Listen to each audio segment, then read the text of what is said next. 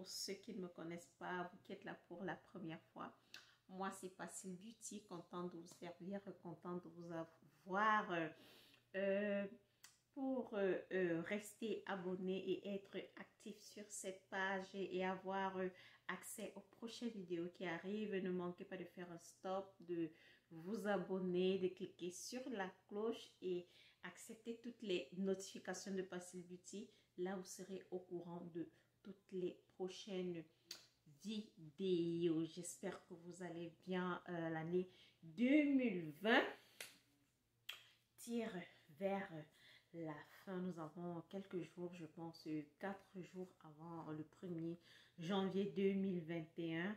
Euh, nous n'allons pas crier euh, victoire. Nous ne savons pas ce que 2021 apporte, mais nous prions le bon Dieu afin qu'il soit meilleur. Il y a tellement de choses que nous nous sommes promises pour 2021 que nous n'avons même pas pu réaliser, mais nous rendons grâce à Dieu d'être parmi les vivants, de n'avoir pas été victime de cette maladie, euh, d'être en bonne santé, de pouvoir être là, se voir, se parler et tout.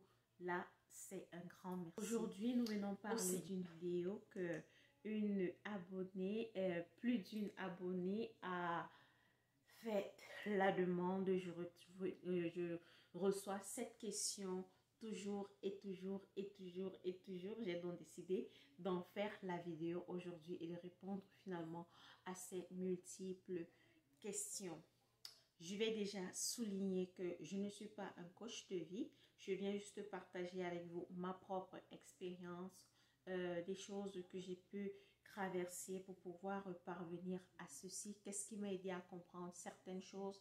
Qu'est-ce qui m'a permis euh, d'être là aujourd'hui? Euh, ça fait 14 ans aujourd'hui et que je construis cette famille et que je suis toujours là. je sais que celles qui m'ont posé des questions, ce sont des cadettes, ce sont des petites qui se lancent aussi. Je me suis mariée jeune, j'ai eu ma première fille très jeune, à 22 ans, j'étais déjà ok. Donc, c'est, je pense, c'est une petite là qui euh, se demande, oh mon Dieu, qu'est-ce qu'il y a, pourquoi je n'avance pas, euh, euh, qu'est-ce qui ne va pas, mon foyer, c'est la catastrophe, ma vie personnelle, c'est la catastrophe. elle se pose mille et une questions. je n'ai à te dire, ma petite, je ne vais pas t'apporter quelque chose que tu ne sais déjà pas. Peut-être tu le sais, mais tu ne sais pas que c'est ce qu'il faut utiliser pour pouvoir se sentir bien dans sa peau, se sentir bien dans sa vie, dans son foyer. Donc, je vais essayer de partager avec vous ici ma propre expérience. Quoi de mieux que de vous parler de ma propre expérience pour pouvoir euh, vous permettre de tirer ce que vous allez trouver bénéfique pour vous et ne manquez pas de rester jusqu'à la fin de la vidéo parce que j'ai une surprise pour vous. Y a quelque chose de vraiment juteux à partager avec vous à la fin. Trois choses simples. Mais nous allons partir au vice du sujet.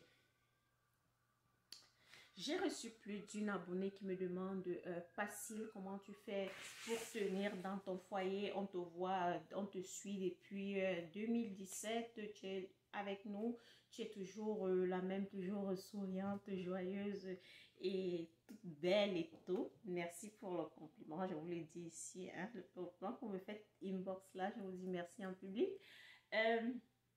et oui, avec vous, j'ai constaté que j'ai beaucoup, beaucoup, beaucoup, beaucoup évolué. Et c'est pas par ma force que j'ai évolué. Déjà, c'est par la force du créo. Pour ceux qui me connaissent ici, j'ai toujours dit, tout ce qui arrive dans ma vie, c'est grâce à Dieu. Euh, S'il à supporter certaines situations, c'est parce que je l'ai mis en premier et j'ai mis ma sagesse et mon, mon intelligence après. Euh, je me suis mariée en 2014. Je me suis mon mari, ça fait 14 ans aujourd'hui. Nous avons trois enfants, pour ceux qui ne savent pas. Nous avons trois enfants, trois filles. Et oui, je mange la même cola tous les jours. Depuis 14 ans, nous sommes là ensemble. Euh, comment est-ce qu'on fait pour se supporter, pour vivre ensemble et tout? Il y a des gens qui me disent souvent, oh Facile, j'aimerais tellement que ma vie soit comme la tienne, ma famille soit comme la tienne et tout. Tu veux pas que ta vie soit comme la mienne, je te rassure. Comme je veux pas que ta famille soit... Euh, Il y a un adage qui passe presque tout ce que je regarde maintenant, on dit euh, la petite fille rêve et la femme réalise. Nous sommes des femmes. Quand tu décides de faire un enfant, tu n'es plus un enfant. Tu n'es plus la petite fille, tu es la femme. Quand tu décides de te marier, tu n'es plus la petite fille, tu es la femme. Ça veut dire quoi? Où est-ce que je veux en venir? La petite fille rêve et la femme réalise. Prends tes rêves d'enfant et rends-les réels. C'est ça. Qu'est-ce qui fait que je sois tranquille dans mon foyer? Qu'est-ce qui fait que maintenant j'ai la paix intérieure? Je me sens, je suis sûre de moi.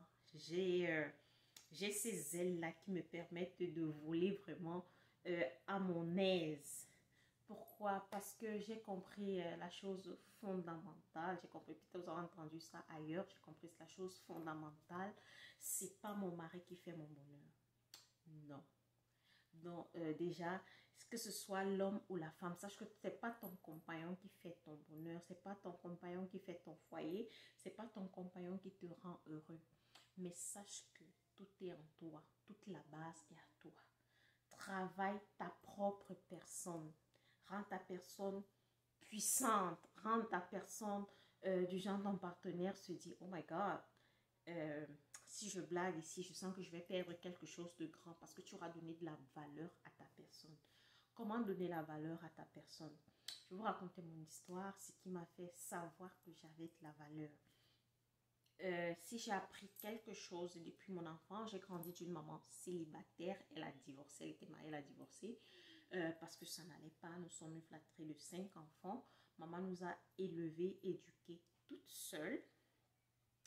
Donc, j'ai plus construit l'indépendance sociale que de construire la vie avec un homme. Et ça a été un bénéfice pour moi. Je dis, je rends grâce à Dieu, car maman m'a appris l'indépendance financière, l'indépendance sociale. Ce qui fait que quand je me suis mise avec mon mari, euh, le fait que j'ai cette indépendance sociale, cette indépendance financière, lui a fait comprendre que cette femme, avec ou sans moi, elle peut vivre. Si cette femme vient vers moi, c'est pas parce que ma famille est dans l'opulence, yeah. mais c'est parce qu'elle veut en moi le cœur que j'ai. C'est ça qu'on cherche chez le conjoint ce que je cherchais à mon mari, c'est pas de l'argent parce que je lui ai toujours montré que je m'assume toute seule. Ok? Je m'assume toute seule. Mais je lui ai montré que ce que j'attends de lui, c'est la passion, c'est l'amour, c'est les câlins, c'est l'attention, c'est le respect et tout. Ce que je veux dire à toi, la jeune fille, parce que j'entends beaucoup, c'est vrai, chacun a ses problèmes, mes problèmes ne sont pas les tiens. Mais j'entends plusieurs personnes, oh, je me sens tellement mal. Elle a le boulot. Elle a peut-être un enfant qu'elle a eu avant, mais elle se plaint, dit, euh, elle n'a même pas le boulot. Parce que quand tu as le boulot, déjà, c'est normal que tu penses vouloir quelqu'un dans ta vie. Mais elle n'a pas de travail, elle n'a rien. Mais sa focalité, c'est dit, ma vie va mal, je n'ai pas de mari. Lady, be careful. Be careful. On a l'habitude de nous dire le premier mari de la femme, c'est le travail. C'est vrai. Les hommes n'aiment pas entendre ça, bête. Ils se rient. Parce que ça te donne un tonus que tu n'imagines pas. Que tu n'imagines pas dans ta vie. Ça te donne un tonus, un respect inimaginable.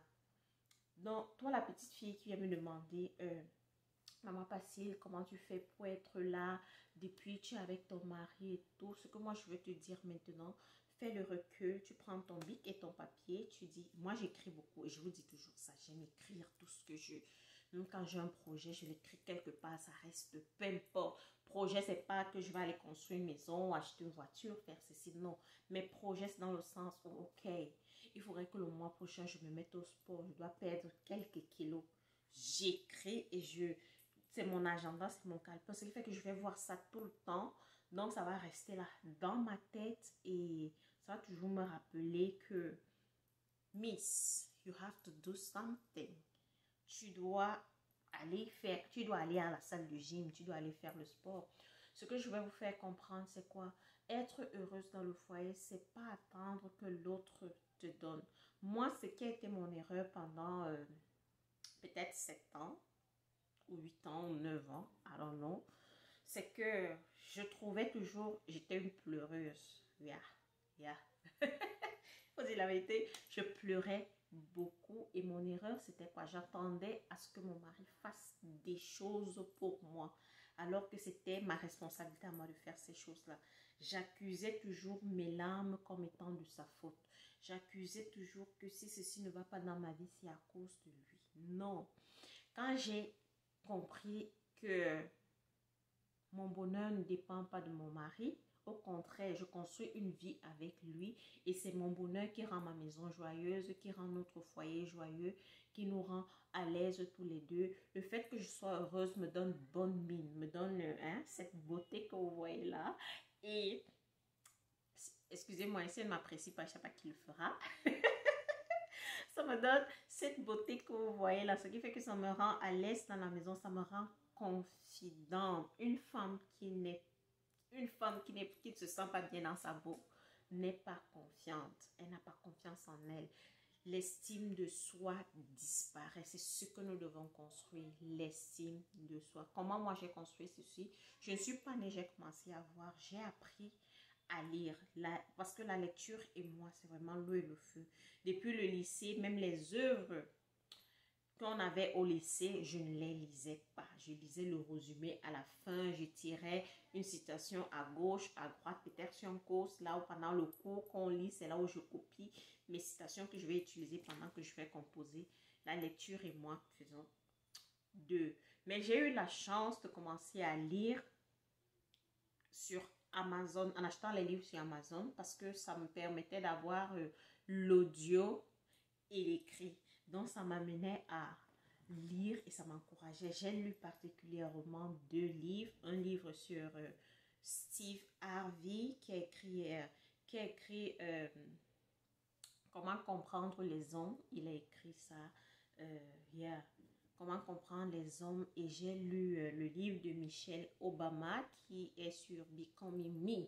Comment elle est devenue Michelle Obama. Elle raconte sa vie à elle les étapes de sa vie, les épreuves et tout ce qui, tout a pu se passer. Elle a, elle a, elle a raconté ça là-dedans. Donc, en lisant ce livre-là, en lisant ces deux livres, je me suis retrouvée. J'ai commencé à me connaître, j'ai commencé à m'apprécier. Apprécie-toi, ma jeune fille. Apprécie-toi.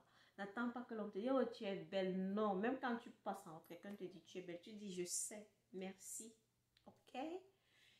Donc, apprécie la personne que tu es. Aime-toi. On nous chante ça tous les jours. Tous ces gens-là, tous ces coachs-là nous chantent ça tous les jours. Aime ta personne. N'attends pas. le Parce qu'il y a des femmes qui dépriment ou il ne m'a jamais dit. Je ne sais pas la fois que mon mari m'a dit que j'étais belle.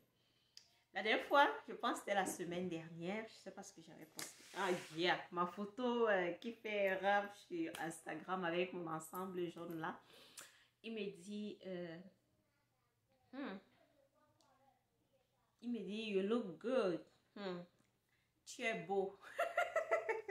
Après, c'est lui que ça pèse tellement dans ta bouche de me dire que je suis belle que tu dis tu es beau. Donc, tu vas vas pas te plaindre de ça. Place-toi devant ton miroir. Si tu ne t'apprécies pas, si tu trouves que tu as trop de poids ou quoi que ce soit, euh, il y a tellement de choses à faire pour gagner ce, pour faire partir ce poids et commencer à t'apprécier. Tu t'assois euh, j'ai une amie qui m'a appris ça. Euh, je lui dis merci. Elle m'a appris qu'est-ce que elle fait, elle, chaque début d'année. Elle prend même pas chaque début d'année. Elle, elle, était tellement déprimée dans son foyer et tout. Aujourd'hui, elle est très heureuse parce que, je sais pas, c'est peut-être quelqu'un qui lui a donné ça, mais elle m'a passé ça. elle prend le bic, du bic et du papier. Elle écrit Dieu. Elle écrit merci. La première phrase c'est merci Seigneur. Merci pour ma vie. Merci pour mes parents. Merci pour mon nom. Merci pour la personne que je suis. Merci pour mon fils. Merci pour mon mari. Merci pour ceci. Elle met tout même les peines, les joies et les douleurs. Ce qui fait que chaque jour, elle ajoutait quelque chose, elle ajoutait quelque chose. Et elle relisait tout ça. Et elle s'est rendue compte qu'elle avait une grâce d'être la personne qu'elle est. Parce qu'en lisant, elle a tellement pesé, elle s'est rendue compte que les choses négatives qu'elle écrivait ne valaient pas la peine par rapport aux choses positives qu'elle avait écrites. Donc, nous avons tellement de choses en nous qu'on ne prend pas le temps d'écouter, le temps d'étudier, le temps de regarder, mais on s'apitoie sur les petites choses qui nous arrivent. Je ne dis pas que le foyer est parfait. Non, je suis mariée, je suis une femme, je sais ce que c'est. Avoir deux personnes d'éducation différentes sous le même toit, c'est difficile. Entre frères et sœurs, déjà, ça ne marche pas. Combien de fois quand tu te retrouves avec quelqu'un qui a eu une éducation et toi tu as une autre, une personne qui avait qu'on éduquait les enfants comme ça et toi tu avais qu'on éduquait les enfants comme ça, et vous vous retrouvez dans la maison où tu penses que ce que toi tu as est bien et l'autre pense Donc, est bien. Il y a ça qu'il faut construire dans une relation de couple, ma chérie, ce sont les femmes qui m'ont posé la question. Ma chérie, ma petite soeur, la chose à faire, c'est travailler sur ta propre personne, travailler sur l'estime de soi. Aime-toi toi-même. il y a quelques petits tips que je vais te donner en ce qui concerne le mari, comment j'ai appris. Avec mon mari, c'était difficile parce qu'il a été, il a été euh, éduqué dans... Il a été éduqué un peu dans le sens où... Euh, quand il a dit quelque chose, c'est qu'il a dit, il a été éduqué comme ça, que son père, c'était que quand il a dit sa mère, ça allait seulement. Donc, ce qui fait que moi, j'ai grandi dans une démocratie où je n'avais déjà pas de père, j'étais avec la mère à la maison et ma mère était le père. Mais euh, sans vous euh, démentir, maman était, on l'appelait reine de cœur, dame de fer au quartier. Donc, imaginez. non, c'était un peu ça. Je connaissais pas comme, je, je ne peux pas exprimer mes mots. Au départ, c'était le bras de fer. Quand il disait quelque chose, j'avais déjà répliqué. Je disais que non, je dois aussi parler. Laisse-moi parler. Donc, j'allais dans la réplique, dans l'agression. Non, il a dit, je dois dire. Après, je me suis dit, euh, ça ne sert à rien. L'homme, euh, c'est comme l'enfant, tant qu'il se brûle il ne sait pas qu'il s'est brûlé. Euh, je me suis dit, il faudrait qu'il prenne du recul et que je pense à voir les choses d'une autre façon. ce qui fait euh, quand il est que quand il parle, je vais retoquer. Maintenant, euh, après, j'ai commencé à faire quand il parle, je l'ignore. Pas que je l'ignore, je suis là, il parle, je ne dis rien. Euh, je ne dis rien. Et ça l'énervait, bien sûr. à la fin, tu sais pas ce qu'il veut. Et quand il parle, tu réponds, il se fâche. Ça l'énervait. Et après, j'ai cultivé autre chose. Euh, j'ai fait ça. Ensuite, euh, qu'est-ce que j'ai commencé à faire? Euh, Tellement ça avait commencé à bouder et tout. Euh, j'ai dit, mais je suis la femme, je suis celle qui bouge, je suis celle qui fait les caprices, c'est pas toi qui fais les caprices et tout.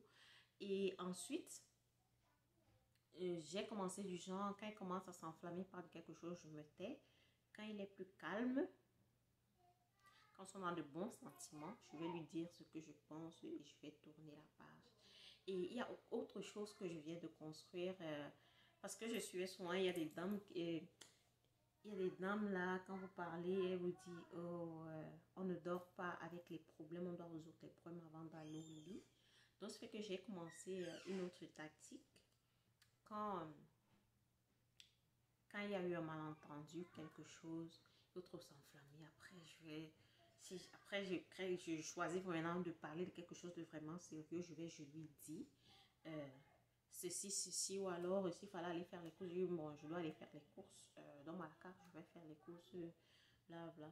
Tu vois, je crée le contact, je n'adopte pas le silence. En fait, il faut toujours trouver quelque chose pour, qui est le langage. Et quand vous êtes un couple, quand c'est un homme euh, raisonnable et tout, vous êtes un couple, quand ça devient sérieux, peu importe le problème qui est entre vous, le dialogue là va passer, peu, importe. Quand peut-être si on devait, si je devais amener l'enfant chez le dentiste et qu'il y a ceci, il y a cela, euh, quand l'heure d'aller chez le dentiste arrive, je lui dis, ok, il faut, même s'il ne veut pas me parler, il doit faire ça. Et j'ai déjà rétabli le contact, ma chérie. Ça, tu as rétabli le contact. Parce que s'il s'assoit, vous avez eu un malentendu, il bouge, il va de son côté, tu bouges, tu vas de ton côté. Le, le crou que tu es en train de creuser là va aller très loin. le malentendu là va aller de malentendu à problème que tu ne comprends même pas. Ça devient de ta faute alors que tu avais peut-être raison. Donc, ce qui fait que, et c'est ce qui se passait tellement je m'enflammais tout, un problème où j'avais raison, j'ai tort à un certain moment, je me culpabiliser. Toi, tu dis que, mais pourquoi culpabiliser pour des choses que j'ai pas faites? J'ai trouvé des tactiques comme ça, voilà une tactique. Fini de s'enflammer et tout, mais je crée toujours quelque chose là pour que, pour établir le dialogue là, pour établir le dialogue, trouve quelque chose, I don't. Je me rappelle, euh, un problème là, et Abigail, ma petite, elle avait ramassé la lame et s'est coupé le doigt. Il n'était pas là. Je pouvais gérer. je pouvais gérer, mais je l'ai appelé. Je lui ai dit, OK, il faut acheter euh, les petites bandes qu'on met sur les doigts. Abigail s'est coupé le doigt. Voilà le dialogue qui est rétabli. Comme ça. C'est rétabli comme ça parce que je ne sais pas que tu vas, tu Non, je m'excuse pas de quelque chose que je n'ai pas fait. Non. Tu rétablis le dialogue et après, quand vous êtes plus calme, tu vas faire comprendre à la personne que ce qui s'est passé là, là, là, là, c'est un humain. Il doit comprendre en principe.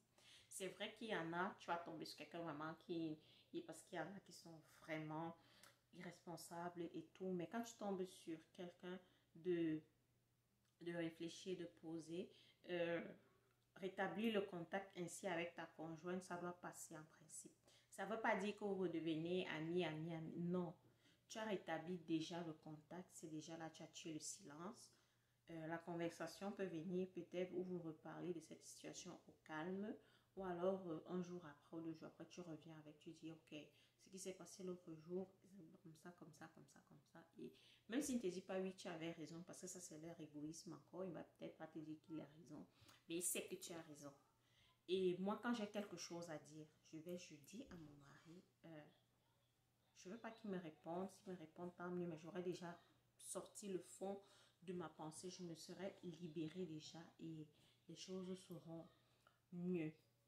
Il y a autre chose que j'aimerais souligner aussi, euh, une erreur que nous faisons beaucoup. Euh, moi, j'ai commencé à travailler très jeune, c'était une grâce. J'étais euh, professeur au lycée de Minkan où j'avais mes aînés, mes élèves, c'était pas facile. Et j'ai appris quelque chose là-bas. Quand je souligne ça, c'est que j'ai appris quelque chose parce que j'ai travaillé avec des mamans euh, qui avaient déjà eu l'expérience de rouler leur bourse dans le mariage pendant 20 ans, 25 ans et tout. Et la chance que j'avais, c'est qu'elles étaient ouvertes.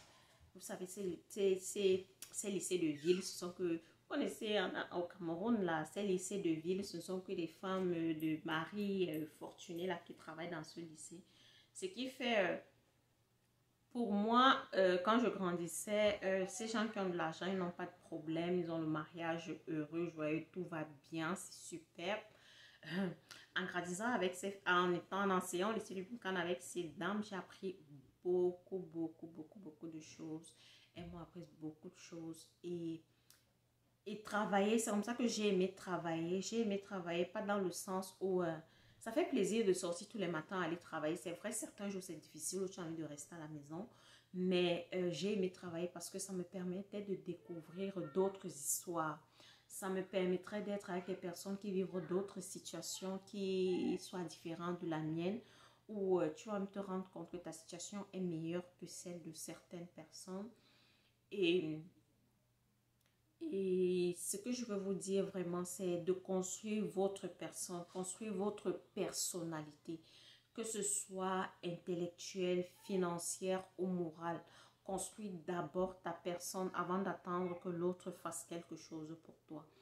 Il y a des personnes, euh, tu te retrouves avec un mari qui a de l'argent, tu attends que le mari t'achète le boulot. Ma chérie, le mari t'achète pas le boulot. Toi-même, tu fais quoi? Sois intelligente et sage et impose-lui, surprends-le parce que c'est ton avenir que tu construis.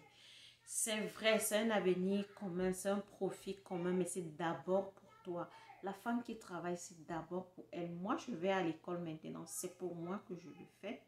Je le fais d'abord pour moi. Je peux m'asseoir, je me dis, oh, mon mari est ingénieur, il va pas l'argent et tout. Je m'assois et que, je chercher un petit truc. Non, mais je suis pas moi, je suis pas la qualité là. On va dire euh, peut-être parce que j'ai grandi d'une maman indépendante qui m'a appris l'indépendance financière.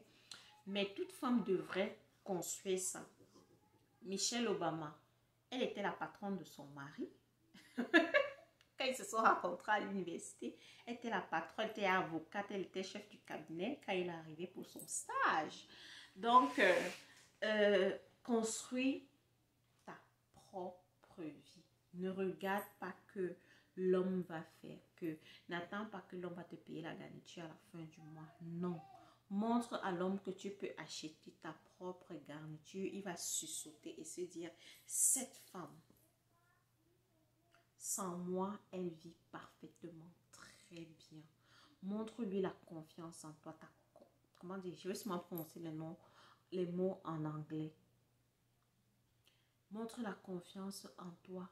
Et j'ai appris à être passive. Les femmes, les éternellement. J'ai travaillé avec une petite aujourd'hui. Elle est tranquille, souriante. Elle regarde la vidéo si elle va se reconnaître. J'ai parlé à cette petite fille pendant près de six mois lui apprendre à être passive et ne pas prendre toujours être vraiment passif, c'est une attitude à adopter, pas seulement avec votre conjoint, mais avec vos enfants, avec les personnes qui vous entourent. Ne prenez pas toujours au mot tout ce qu'une personne peut vous dire ou une personne peut pas, euh, comment dire.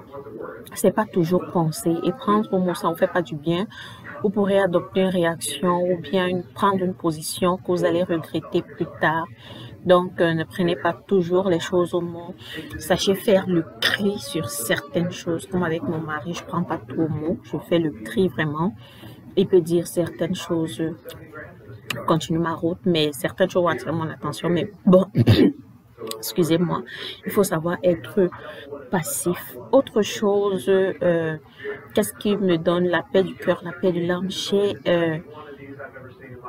ma vie, dans, ma vie, peu importe ce que c'est, que ce soit ma vie personnelle, que ce soit dans mon couple, avec mes enfants, j'ai toujours mis Dieu devant. Je connais pas vos croyances, on ne parle pas d'église ou de quoi ici, mais j'ai toujours mis mon Dieu en premier. Euh, j'ai toujours remis tout ce que j'ai fait entre ses mains. Euh, avant, je, je ne priais pas bien, je dois dire, mais ça fait euh, peut-être six ans que j'ai changé ma façon de prier. Je vais pas dire que c'est là où les choses ont commencé, mais je sais pas, je me sens plus en confiance et plus en relation avec mon Dieu parce que j'ai appris à lui parler. Avant, je me limitais à faire euh, Notre Père, je vous salue Marie, les chapelets. Ne vous me prenez pas. Je fais toujours mon chapelet, mes neuvaines et tout.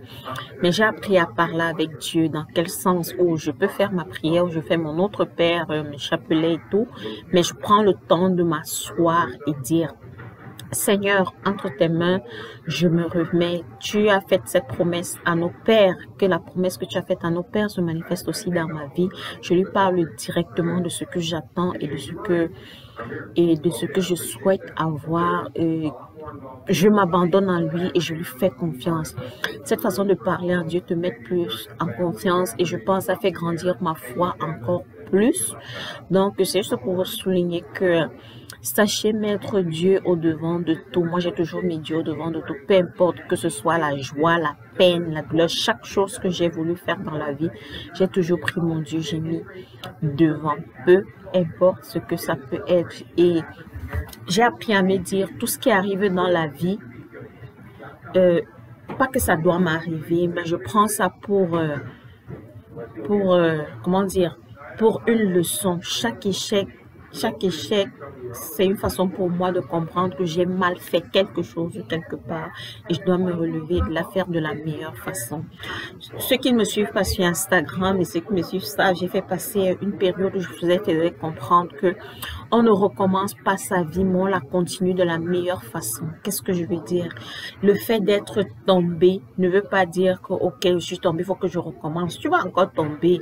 Tu peux recommencer peut-être de la meilleure façon, mais ce que j'ai appris, c'est que je ne recommence pas, mais je continue en réparant les erreurs qui ont été faites dans le projet passé. Donc, euh, cultivons cela, cultivons la résilience. La résilience, c'est quoi? Je n'abandonne pas, je vais y arriver. Je crois en mes, je crois en mes, à mes projets. La petite fille, elle rêve et la femme que je suis aujourd'hui dois réaliser ce rêve. En étant petite fille, j'ai rêvé que je serais docteur. Moi, la femme aujourd'hui, je dois réaliser ça et être médecin. C'est un exemple. Je suis pas dans la médecine.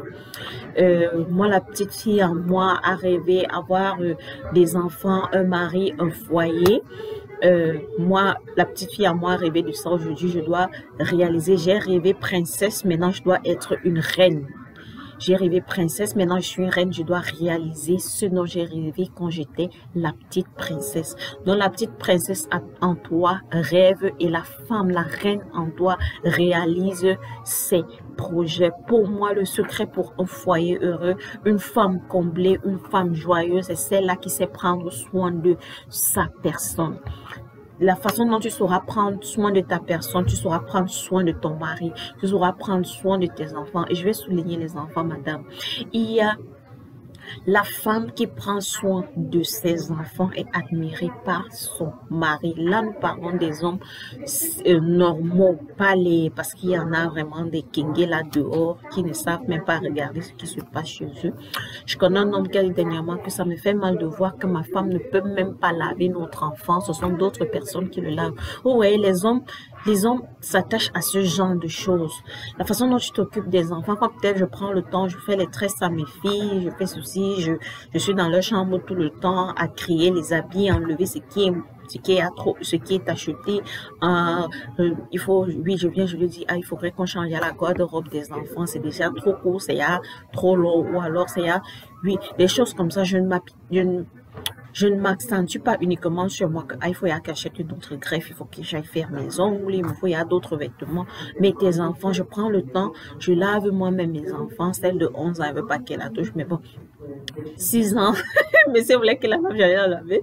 Celle de 6 ans et de 3 ans, c'est vrai, je fais pas tous les jours parce qu'il y a des jours où je travaille de 7h à 3h, elles vont pas rester sans se laver et, et m'attendre. Donc, quand je suis à la maison, je fais l'effort, je lave, je contrôle les cheveux, les ongles, les tout.